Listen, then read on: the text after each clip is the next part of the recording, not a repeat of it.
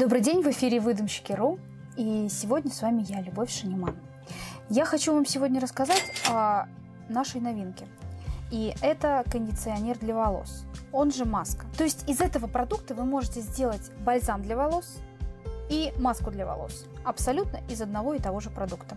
Сегодня я предлагаю сделать маску для волос и насытить ее такими ингредиентами, которые э, помогают восстановить волосы и помогают восстановить их структуру. Мне нужен небольшой стаканчик, в который я сейчас сложу все свои полезные ингредиенты.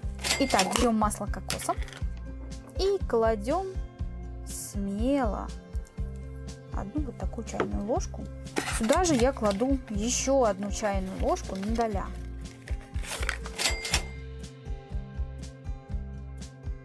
Теперь все, что мне нужно, чуть-чуть нагреть эту смесь для того, чтобы масла приобрели одну консистенцию и одну температуру.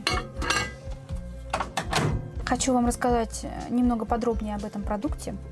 Сейчас я взяла немного базовых масел. Здесь 20 э, э, миллилитров базовых масел на 250 э, граммов нашей базы. Это совершенно немного. На самом деле эта основа вмещает в себя до 30% любых масел и до 20% жидких фаз. Можете себе представить? То есть вы можете добавить в нее гидролат. Естественно, она станет от этого жиже. Но если вам нужен, например, кондиционер для волос, а не маска, то текстуру вы можете менять сами. Вот сейчас я без проблем вмешиваю масло и делаю это прямо в холодной базе. То есть я ее предварительно никак не грею. Конечно, масла это не все, что я хочу вместить э, в свою маску. Так, давайте добавим еще депантенол. Я предлагаю добавить его прямо смело, весь тюбик. Никогда еще этого не делала, но вот, вот, вот так смело я высыпаю весь тюбик.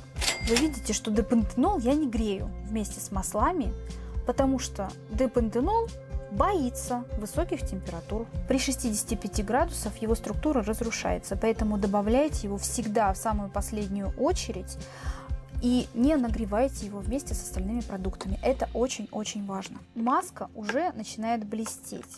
Но при этом она однородная, нет никаких комочков, сгустков.